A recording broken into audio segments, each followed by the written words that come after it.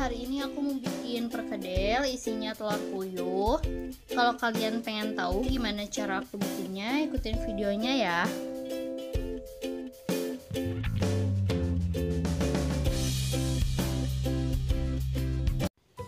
Untuk bahan-bahannya di sini aku ada setengah kilo kentang.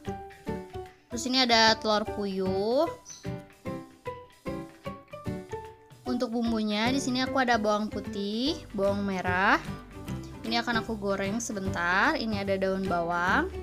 Ini ada satu sendok teh garam, setengah sendok teh e, kaldu bubuk. Kalau misalnya kalian nggak nggak mau pakai, nggak usah juga nggak apa-apa.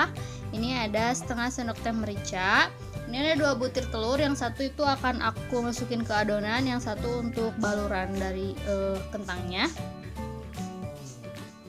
Nah sekarang aku akan goreng dulu bawang putih dan bawang merah.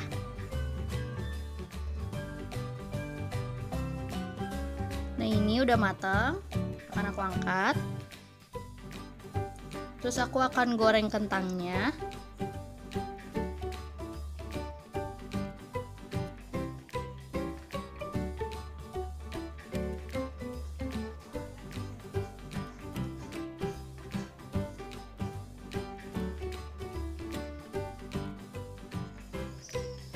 ini juga udah mateng akan aku angkat.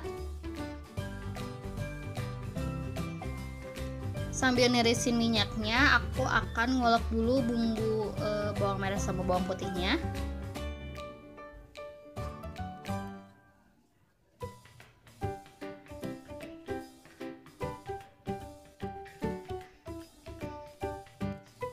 Nah kayak gini udah lembut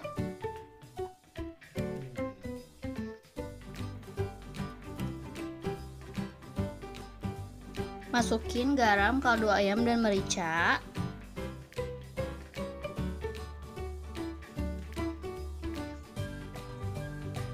Terus aku masukin kentangnya. Ini uh, kita tumbuk pas si kentang itu masih panas.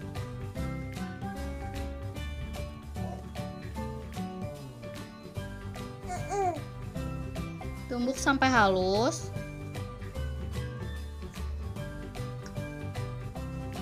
Kalau udah halus aku masukin satu butir telur.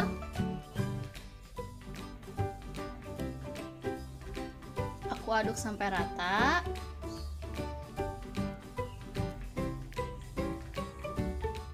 Jangan lupa masukin daun bawang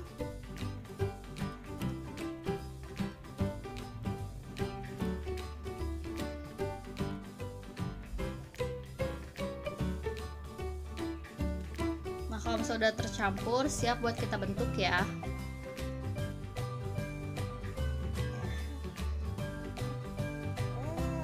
Bentuknya gampang tinggal ambil satu sendok aja. Terus kita pipihin. Masukin telur puyuh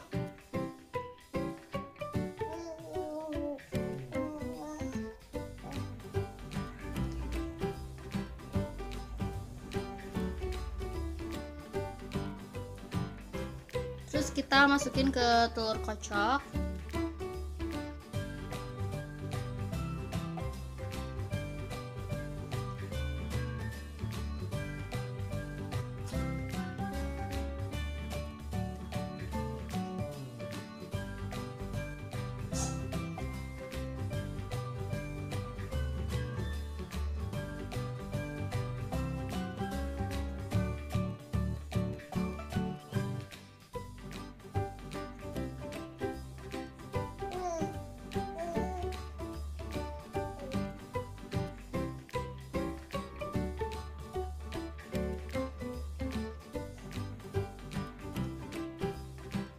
Nah sekarang aku akan goreng perkedelnya. Ini aku udah panasin minyaknya.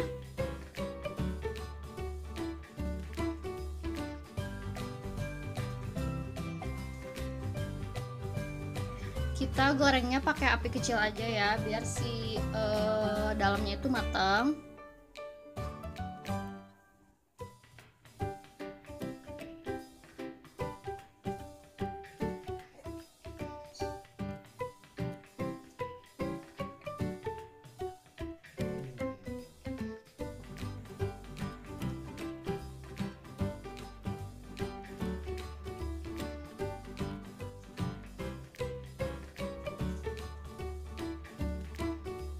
Kalau udah mateng, kita angkat aja.